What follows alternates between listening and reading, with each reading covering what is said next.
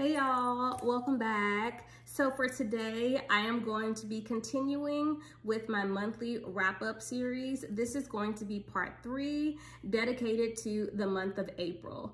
In that month, I read about seven or eight books. I can't remember because I think I combined one of the series together. Nonetheless, I'm gonna be giving you my review using yes, no, or maybe.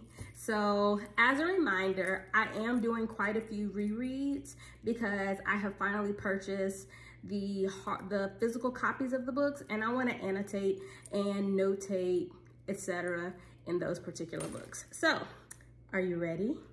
All right, so we're going to start off with The American Queen by Vanessa Miller. This is a yes, and I actually think that this is a great read for you. It's a historical fiction book, but it's also based on like real events. Definitely a yes.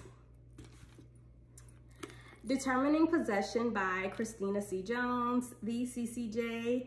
Ramsey and Will's story is definitely a yes for me. Okay, um, this is going to be book three in the Connecticut King series. As you can see, it is tabbed and loved on, but yes, it is a definite yes for me.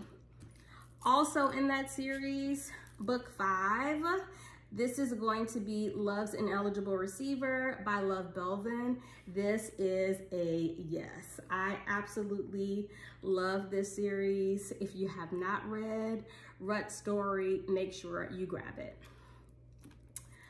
I also read The Replacements by Shae Sanders and unfortunately that was a no from me. I was not a fan of The Boss and the main female character. I just felt like they didn't make good choices and it annoyed me quite a bit. So that's gonna be a no from me.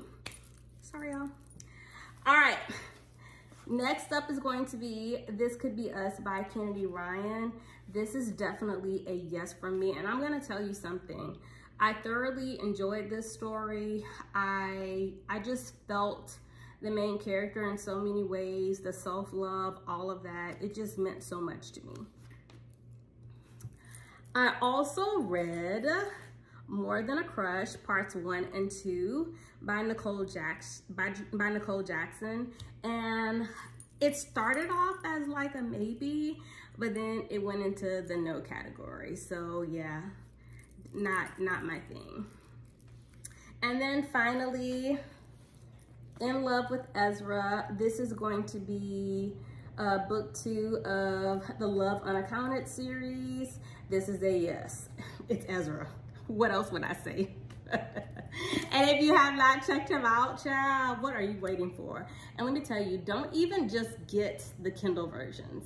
You have to get the physical copies. This is just a book that you have to own the physical copies.